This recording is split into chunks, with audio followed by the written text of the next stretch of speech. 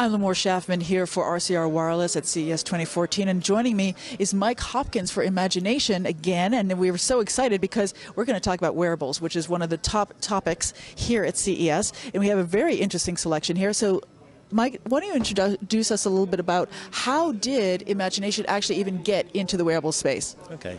Well, Imagination as a company is always focused on getting optimum performance with minimum power consumption.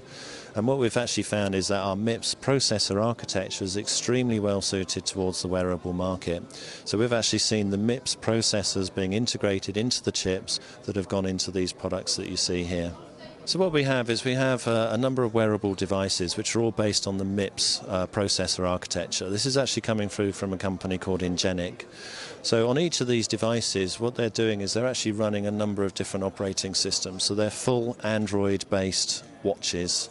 Um, the capabilities gives you the opportunity to actually sort of uh, build these up. Um, you can run any sort of Android app on these. So what we've actually done with these is we've actually sort of taken maybe the Pure Connect app, integrated onto the watch, connected it to a Wi-Fi, so we can create a single watch that will control your whole sound system around your entire home from a watch. Wow, so wait, wait. So you're taking advantage of the power that your MIPS processors have and you're putting in this something tiny here, and then they're able to run an entire operating system on it as if it were my tablet or my larger mobile phone or something like that. But now it's the, the form factor of a watch. You're basically telling me. Exactly. It's all about having the performance to run the high-level operating system and give the user experience.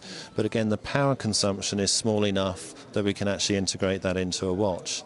Now, at the moment, the watches that you find today coming through into the market have to be recharged maybe, every day or so. But we're actually working with other partners like iNEDA who are developing specific system on chips for wearable devices. So we expect by the end of this year, you will have wearable devices that will actually have a recharge rate of 30 days. So you can actually go from a one or two day recharge to 30 days. And so, what kind of other cool applications are you finding that are being used on this, that are being tested out? Well, what we can do is, as you look at the next generation of chips, they have our communications IP, they have our video IP, our graphics IP, and multiple MIPS cores. So we have microcontrollers connected to sensors. So all of the sensor capabilities are in there. So if I want to turn my watch off, I can just shake my wrist. Um, or if I look at the time, it will detect when I lift my hand up, and then it will turn the watch on. Um, it also means with the video IP in there, I can actually watch videos on my watch. Um, and I can also use that for communication. So if I want to make a video call from my watch, I can actually do that. We can already do voice with today's watches. You can actually then integrate and have video communications from your watch in the future.